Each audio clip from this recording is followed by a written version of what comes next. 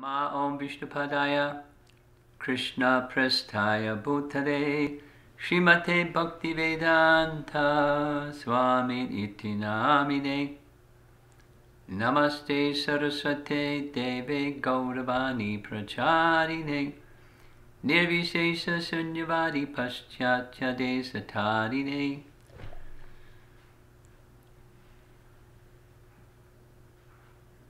A grand event in all of our lives is about to happen.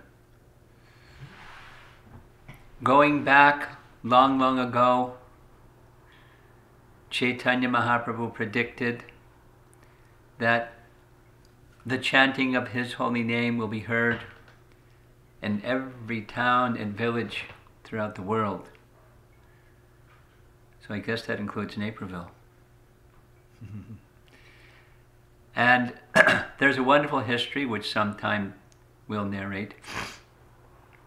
But it is very clear to me that Krishna, Chaitanya Mahaprabhu, and our beloved founder Acharya Srila Prabhupada have smiled upon this community for a long period of time. The door was open and Krishna came in. And now comes the opportunity for establishing a place of worship, a formal place of worship, a wonderful place of worship of Radha and Krishna. For the many, many, many people of all backgrounds in the greater area around the Naperville temple to come forward and associate with Krishna Bhakti and have their lives changed. Many of you know this celebrated verse from the Bhagavatam where Prahlad Maharaj, a great Mahajan, indicates that to his father, Lord Nrsimha, to Hiranyakashipu, that people don't know the purpose of life. Na te vidu svartakatim hi Vishnu. They don't know.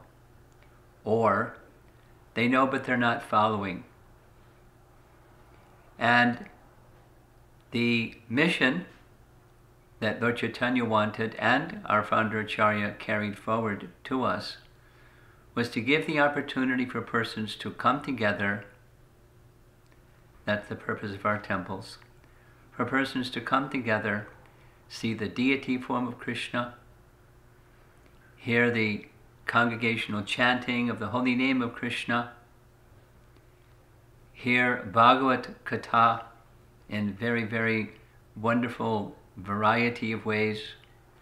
Of course, take Krishna Prasadam and gradually become purified so that the purpose of life awakens and comes to one's the foreground of one's consciousness and progressively the cycle of birth and death the bondage to the endless sojourn in material existence can be broken and our real purpose of life becomes awakened.